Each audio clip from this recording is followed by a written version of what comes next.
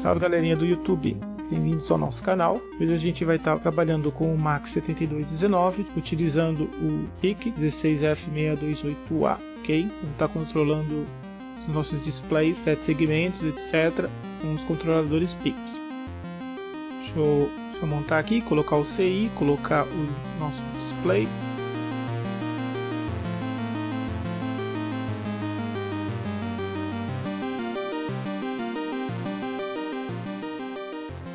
Aqui, colocar um de quatro dígitos.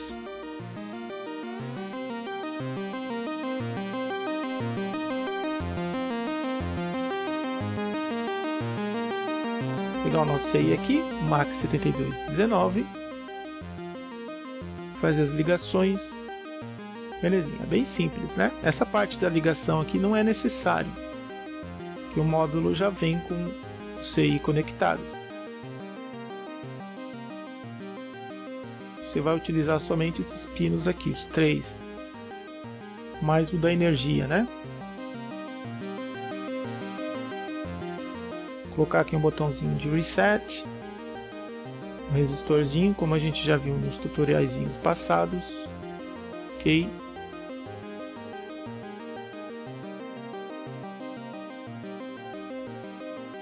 Resistorzinho de 10k.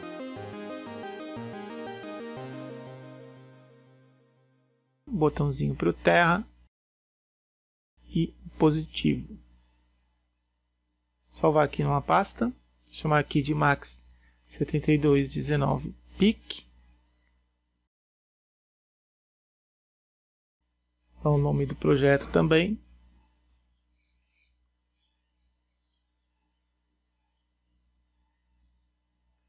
Vamos criar um search aqui no nosso CCS, selecionado ali 16F628A.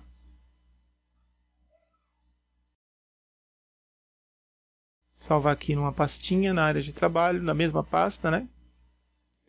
Eu vou chamar de max7219pic.c.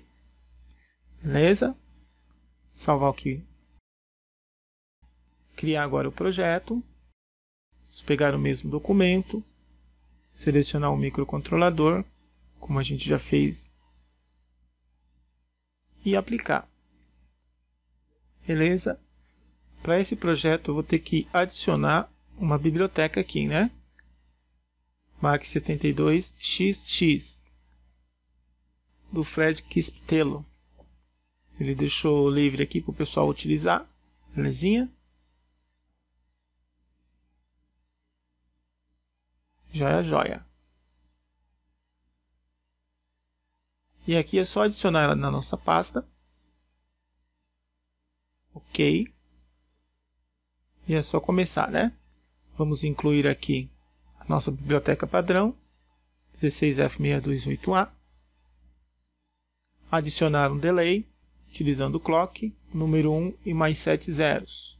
Ou eu posso simplesmente colocar 1 e o M maiúsculo, uma constante aí de mega, né?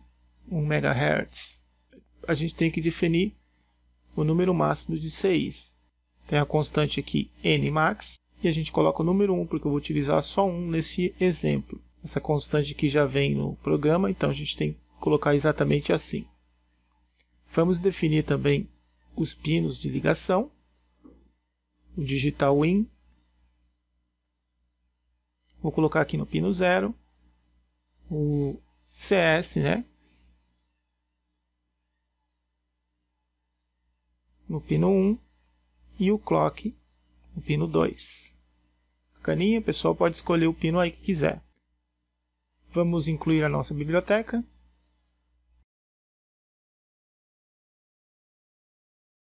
Vamos criar a nossa função principal, nosso main. E aqui a gente vai inicializar o max72xx, né? Coloca 0xff em hexadecimal. Pode ser o número 255, né? Vamos criar um laço para manter o programa funcionando. Um while. E aqui dentro nós vamos enviar. Está ali iniciar e enviar, né? Parece português, mas é espanhol. Bacana. Enviar. Max 72xx. E o primeiro parâmetro seria a identificação do nosso CI. Como a gente só tem um, então é ele aí, o número 1. Ok? Próximo parâmetro aqui é qual o dígito que a gente vai trabalhar. É, nós temos quatro nesse caso. O primeiro seria o último, depois o segundo, o terceiro e assim por diante. Então vamos colocar aqui o número 1, vai ser o último. O próximo é o valor. A gente tem valores de 0 a 9, né? que é apenas um dígito. Então vou colocar o número 5 aqui como exemplo. Embaixo vou colocar um delay em milissegundos.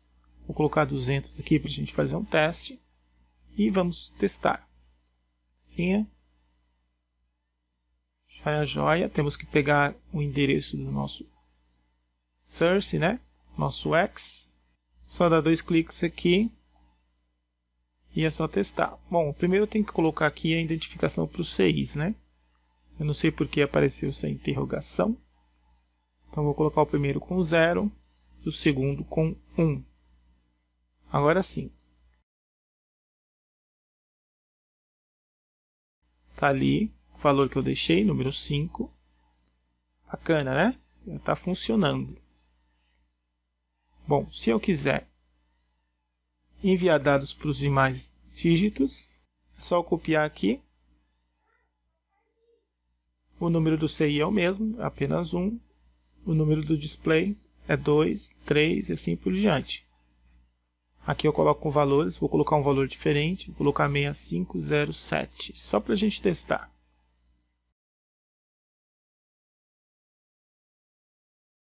Vamos testar para ver. Já é joia. Tudo funcionando aí. Simples, simples, né? É isso aí, galera. Vamos fazer um contadorzinho aqui só para testar. Eu vou criar quatro variáveis para colocar os valores dentro das variáveis. E aqui eu distribuo ela para os nossos dígitos, né? Começando de baixo para cima. Ok? É o seguinte, se caso o A, eu vou estar adicionando 1, for maior que 9, o A volta a ser zero. A gente vai ter um contador aí para um dígito. Vamos testar. Joia, joia. Só que dá para ver que depois do 9 ele faz um tracinho, né?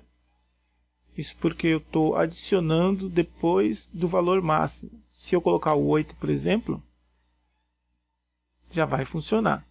Ok? Esse é o pós-incremento.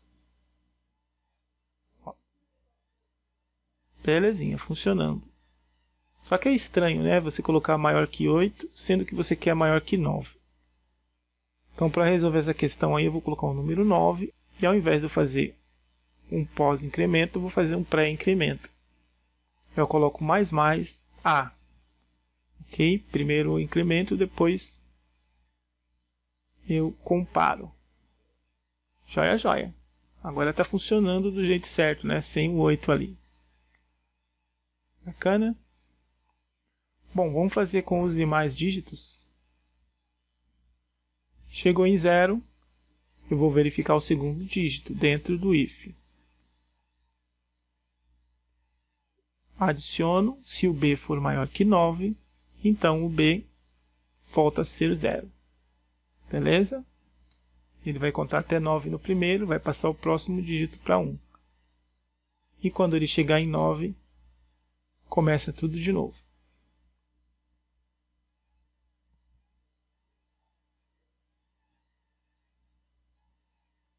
Belezinha.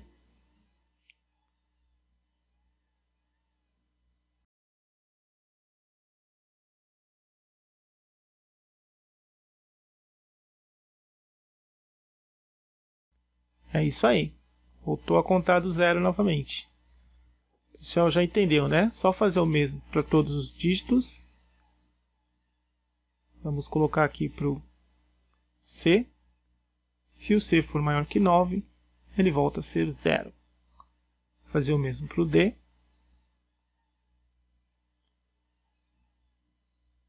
Se o D for maior que 9, ele volta a ser zero. Finaliza. Beleza? Só que se eu testar assim, vai demorar muito para a gente ver os números contando, né? Então eu já vou dar uma adiantada aqui na hora da declaração. Vou colocar o D com 9, o C com 9 e o B aqui vou colocar uns 5, beleza? Só para a gente ver os números contando. Vamos testar para ver.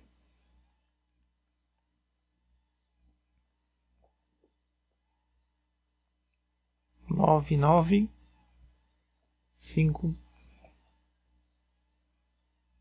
Chegou no fim, faltam todos os dígitos para o zero. Aí ele começa a contar novamente. Bacana? Tem uma outra opção aqui. Se eu quiser colocar um display maior, eu posso colocar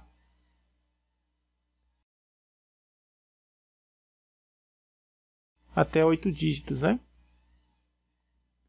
A ligação é a mesma, só preciso continuar. Esse é o máximo, né, que ele vai exibir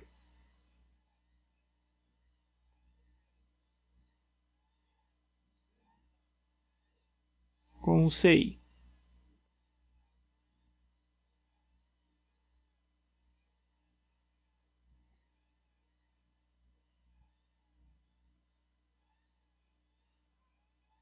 Testando, ele vai contar só os dígitos da frente, né?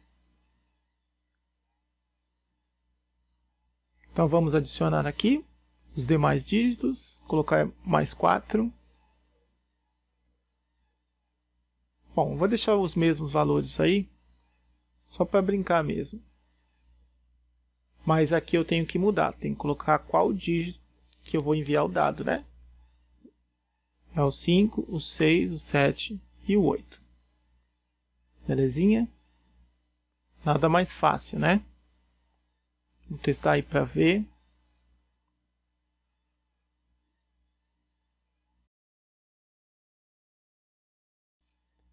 É isso aí. Funcionando o nosso sisteminha com Max 7219. Todos os tipos de display aí, por isso que é XX, né? Utilizando o PIC dessa vez, microcontrolador 16F628A. Espero que o pessoal tenha gostado, tenha entendido. Quem gostou, dá um like e até a próxima, galera.